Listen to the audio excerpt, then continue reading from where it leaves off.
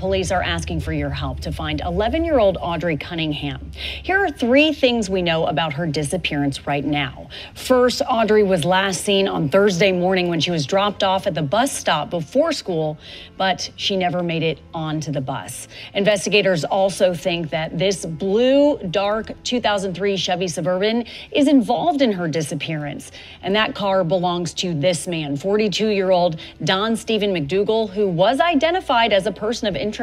He was arrested on Friday for. And it has been nearly 24 hours since anyone has seen 11 year old Audrii Cunningham.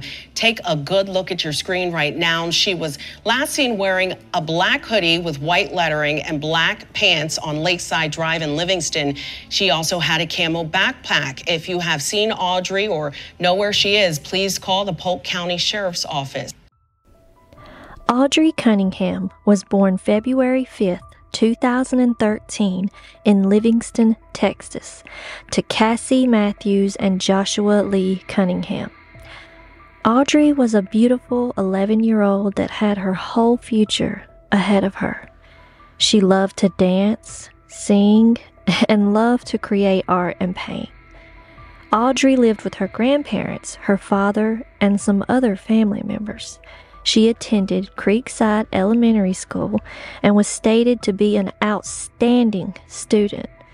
Everyone loved Audrii, so when she didn't show up to school on February 15th, 2024, there were questions. So, what happened to Audrii Cunningham? Audrii lived with her grandparents and father.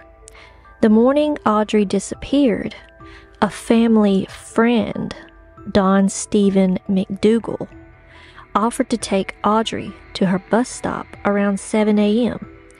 McDougal was living on the property in a camper. For whatever reason, the family trusted him to get Audrii to the bus stop. When Audrii didn't come home at 5:30 p.m., the family reported her missing. The grandparents and Audrii's father was keeping Cassie, Audrii's mother, from seeing her.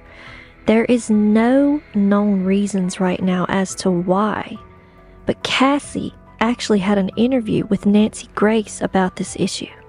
Had they been blocking you seeing Audrii? I I haven't had any type of contact. Um, I had the last bit of contact that I I had with Josh, where I was once again begging to see my daughter um, in any way that made him or her comfortable. Uh, whatever I needed to do, I had to do that through my fiance's messenger.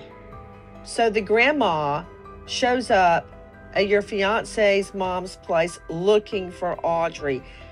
Then your fiance's mom has her call you. And what did she say? She um, tells me that she's missing. She didn't make it home off the bus. Um, asked me if I had seen her, which that's a crazy question because you haven't allowed me to see her in so long. How in the hay do you believe this happened, Miss Matthews? I I don't understand um, how it happened at all. I don't understand how they put so much effort into keeping her from me, but they couldn't put the same effort into knowing the people that they had around her. Upon this interview, it was learned that Don Steven McDougal actually texted Cassie, offering her for her to see Audrii. Between and about the messages between Steven and I from the night before, and they were asking me if yes. I, now know, that's very curious, Cassie, because I find those text messages that McDougal sent you very, very incriminating for him because he is playing on your emotions. He knows how much you want to see Audrii. So basically, Cassie, McDougal is using your daughter as bait to lure you down to the river where her body was later found. Why Um, was he doing that? And claiming he was going to keep it secret from her dad. What what was he what was his game?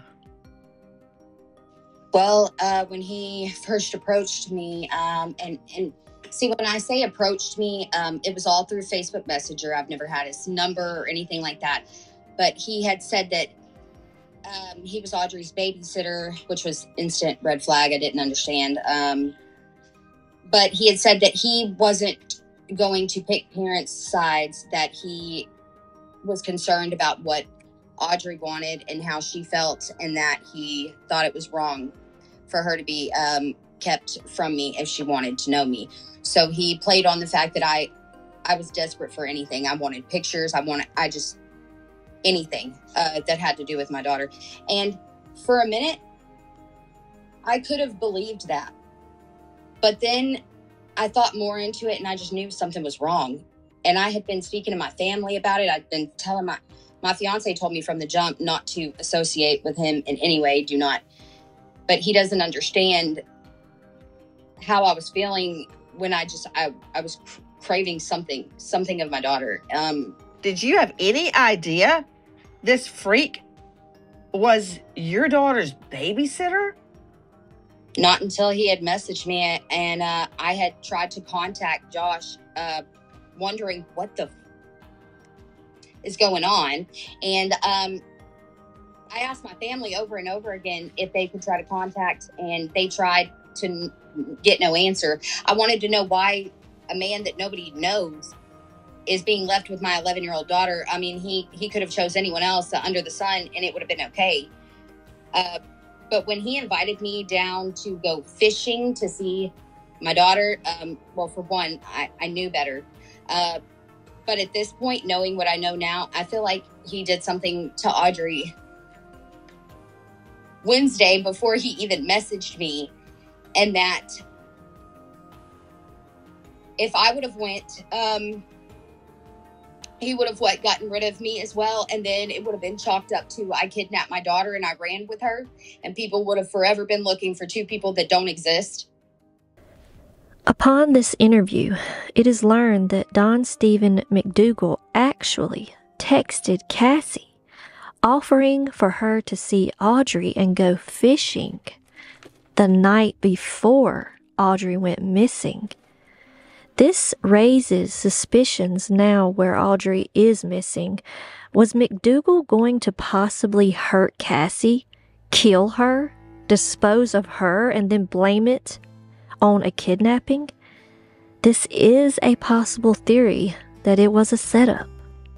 After Audrii was reported missing, officers searched Cassie's home Investigators then interrogated Cassie, her fiance, and roommate for 16 hours. So it seems they tried to make Cassie a prime suspect. Cassie was cleared of this. Tuesday, February 19th, Audrii Cunningham was found in Trinity River. Her pants were found on the bank of the river. Audrii had suffered blunt force head trauma and was found tied and weighed down in the river waters. There is also the possibility of SA as well. McDougal was arrested Friday, February 23rd, on an unrelated charge of aggravated assault. But he was a person of interest also, seeing as he was the last to see Audrii.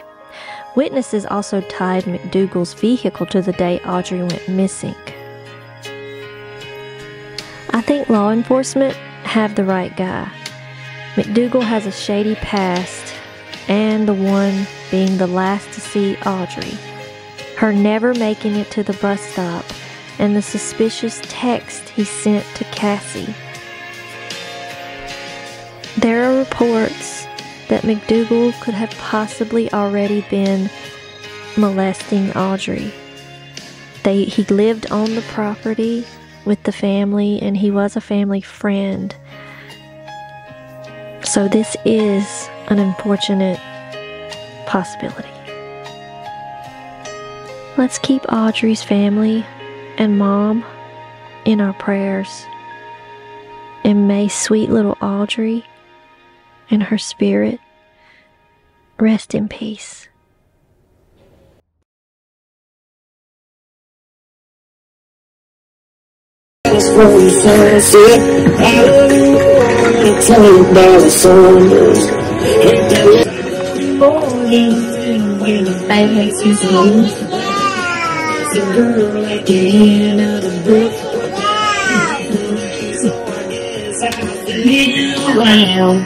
I love you more than my hometown. Love you more than my hometown.